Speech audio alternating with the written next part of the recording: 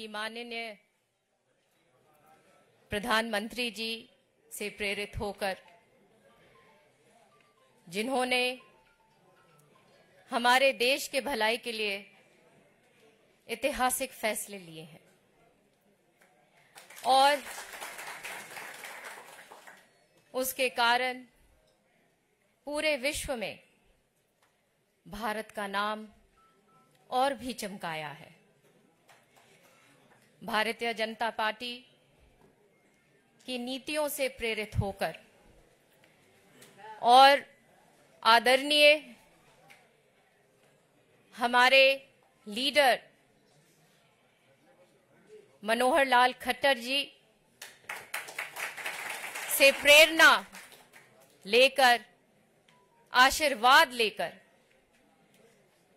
उनके कार्य को देखकर कि किस तरीके से ईमानदारी के साथ जैसे चौधरी बंसीलाल ने प्रदेश चलाया था, उसी तरीके से उन्होंने वो काम किया। हमारे लिए ये बहुत गर्व की बात है कि स्वयं आदरणीय मनोहर लाल लाल जी और प्रधानमंत्री श्री नरेंद्र मोदी जी ने चौधरी बंसीलाल जी के साथ काम किया है।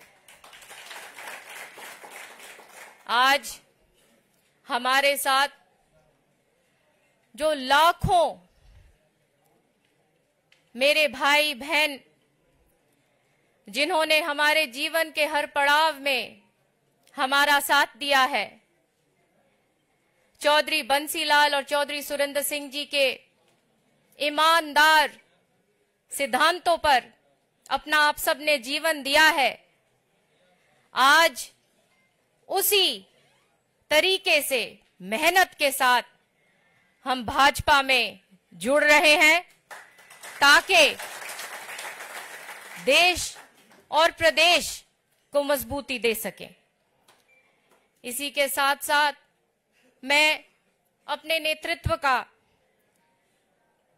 मनोहर लाल खट्टर साहब का, चीफ मिनिस्टर साहब नायब सैनी जी का, यहाँ पे विराजमान आदरणीय तरुण चुग जी का, मेरे साथ रहे हुए पार्लियामेंट में सुरेंद्र नागर जी का, और सारे लीडर्स का इस मौके के लिए बहुत धन्यवाद करती हूँ। मेरा आग्रह होगा जनप्रिय नेता किरण चौधरी जी से आपको संबोधित करें।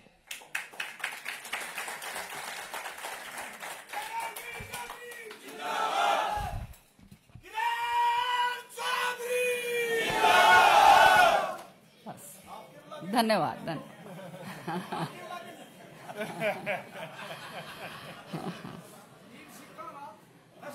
बहुत ही करतार बाद में सब। बहुत ही आदरणीय और मेरे प्रेरणा स्रोत हरियाणा के पूर्व मुख्यमंत्री और आज केंद्र के अंदर बहुत ही यशस्वी तेजस्वी, हमारे मंत्री, मेरे बड़े भाई, या मेरे भाई बड़ी, ज़्यादा बड़े नहीं है, एक साल ही बड़े हैं। हाँ हाँ फिर भी, बड़े भाई का ओहदा है। मनोहर लाल खट्टर जी, हमारे बीच में भाजपा के प्रदेश अध्यक्ष और माननीय मुख्यमंत्री जी, नायब सैनी जी, हमारे बीच में महामंत्री भाजपा के तरुण चुग साहब, हमारे बीच में हमारे मंत्री संगठन मंत्री नागर साहब, जो श्रुति के साथ पार्लियामेंट में भी दोनों रहे हैं और यहाँ पर तरुण तरुण भंडारी जी, जिनका बहुत सहयोग हमारे साथ रहा है। संजय संजय जी और यहाँ आए हुए बहुत ही मेरे हर दिल अज़ीज़, मेरे दिल के टुकड़े सभी मेरे कार्यकर्तागण।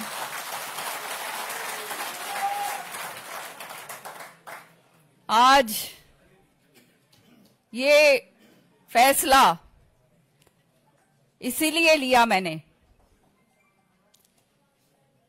प्रेरित होकर हमारा ये जो नेतृत्व बैठा है इनसे और हमारे माननीय प्रधानमंत्री जी, जिन्होंने विकसित भारत का एक संकल्प रखा है।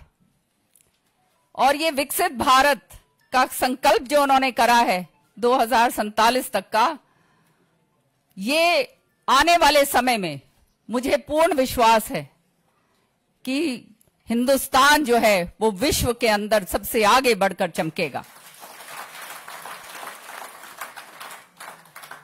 माननीय प्रधानमंत्री जी ने जो जनहित के ही नहीं देश हित के जो काम करें, उसी के कारण आज तीसरी बार जो ये अपने आप में एक इतिहास है,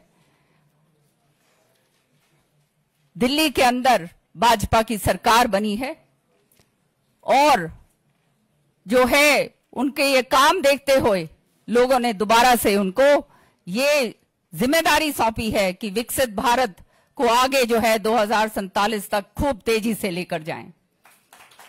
इसी तरह से हमारे पूर्व, हमारे मुख्यमंत्री, मेरे बड़े भाई मनोहर लाल खट्टर जी, इनके साथ बहुत काम करा है मैंने पिछले दस साल में विधानसभा के अंदर बहुत तलखियाँ हमारे बीच में होती थी लेकिन मैंने हमेशा देखा कि इतनी सहनशीलता, इतना ज़बरदस्त पकड़ अपने सभी कार्यों के ऊपर, जो इनका रहा है, और जिस प्यार और मान सम्मान के साथ सबके साथ पेश आए हैं, मेरे तो ये सबसे बड़ा, बड़े प्रेरणा स्रोत हैं, और इनका मैं बहुत बहुत तय दिल से धन्यवाद करती हूँ।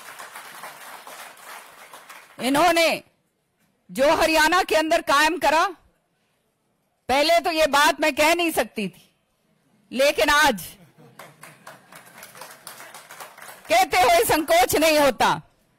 ये तो मैंने शुरू से कहा कि बहुत ईमानदार, बहुत ही कर्मठ और पार्टी से जुड़े हुए न नेता, ऐसे लोग कम होते हैं।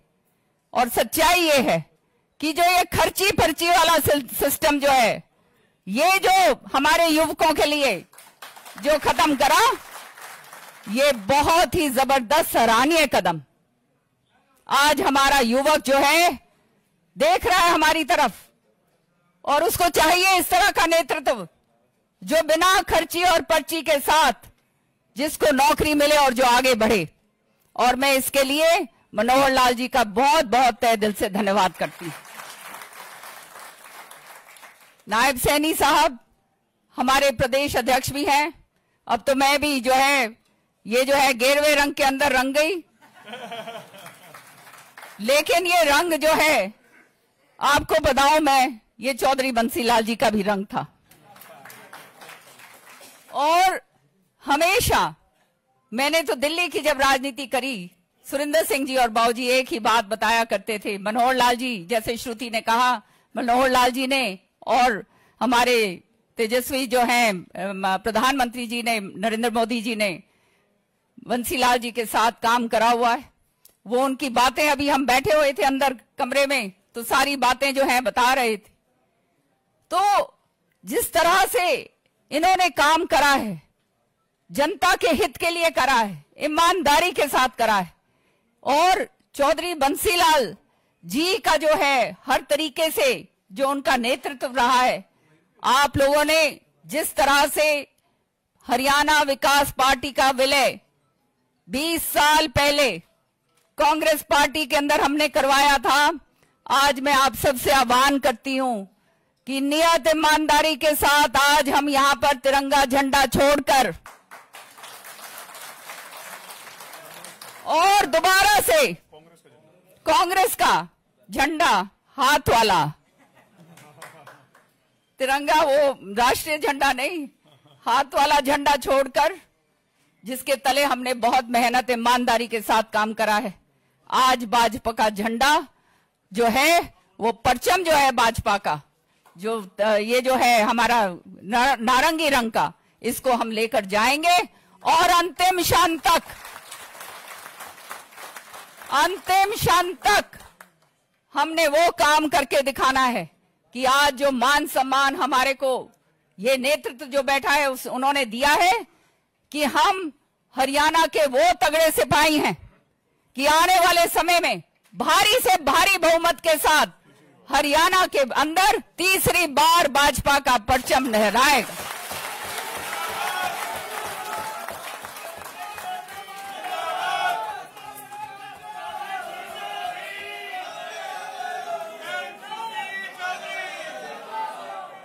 आज आज मुझे क्षमा करना, मैं किसी को बुला नहीं पाई, क्योंकि आज एकदम एकदम ये कार्यक्रम हुआ, आप देख रहे हैं।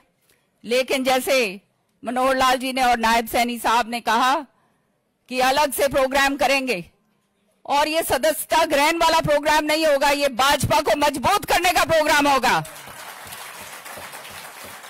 सदस्यता, आज वो कहते हैं ना, हाथी के पैर में सबका पैर तो सदस्यता हम सबकी ग्रहण हो गई। और आज से आज से हमारा काम शुरू है। चौधरी बंसीलाल जी का नाम लो और भाजपा की नीतियों पे काम करो और शीर्ष नेतृत्व का जो है जय जयकार करो।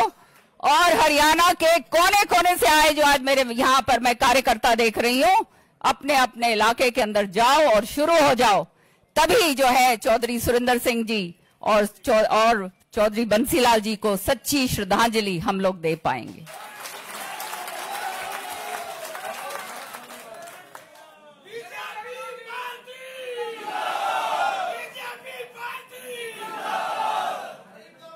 आज आखिरी में एक ही बात कहूँगी कि बहुत ईमानदारी के साथ हम ग्रास रूट वर्कर की तरह भाजपा को मज़बूत करने के लिए करेंगे काम। और जहाँ पे भी हमारा उपयोग करें, राजस्थान हो, हरियाणा हो, दिल्ली हो, वेस्टर्न यूपी हो, हम तैयार हैं और एक मज़बूत कार्यकर्ता के नाते जो है, आपको मैं विश्वास दिलाती हूँ, मैं और श्रुति, और मेरे सारे के सारे लोग जो आज यहाँ पर हैं, और जो अनगिनत लोग जो आज नहीं आए, और जो देख रहे हैं आज, सारे के सारे भाजपा को और मजबूती के साथ आगे बढ़ाएँगे। बहुत बहुत धन्यवाद।